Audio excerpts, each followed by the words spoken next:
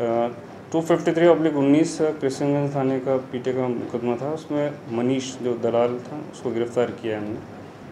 वो अनुसंधान का विषय है। इससे पूछताछ में हम जो होटल्स के जहाँ इन्वॉल्वमेंट है या और भी इसकी कॉल डिटेल्स से जो हमें जानकारी मिलेगी वो हम अनुसंधान कर रहे हैं उसमें वो हम इन्वेस्टिगेशन कर रहे हैं। जैसा इन्वेस्टिगेशन में आएगा आपको बता देंगे